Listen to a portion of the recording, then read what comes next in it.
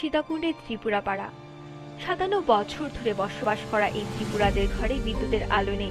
কেরোসিনের ব্যয়বহুল আলোয় চলত ঘরের কাজ। উঠান বা রাস্তাঘাট সন্ধ্যা হলেই অন্ধকার। এই সমস্যা সমাধানে লিডার অফ লাইট বাংলাদেশের উদ্ভাবনী উদ্যোগ। কোনো কারিগরি দক্ষতা ছাড়া যে কেউই বানাতে পারবে এমন লাইটের মডেল তৈরি করেছে। শেখানো হচ্ছে সবাইকে। স্কুল, কলেজ, বিশ্ববিদ্যালয়ের স্বেচ্ছাসেবীদের নিয়ে সহজলভ্য ছোট solar panel, battery, PVC pipe plastic বোতল এবং ছোট সার্কিট দিয়ে তৈরি করছে স্ট্রিট লাইট এবং ল্যাম্প। সেই আলোয় ত্রিপুরাপাড়া এখন সম্পূর্ণ আলোকিত। লাইট কিপার প্রকল্পে প্রতি মাসে একটি গ্রাম বা লোকালয় আলোকিত করা হচ্ছে সম্পূর্ণ বিনামূল্যে।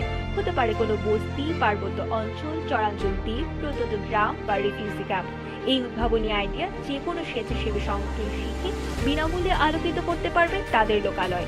ভালোবাসার বাংলাদেশ আলোকিত করবে লাইট কিপার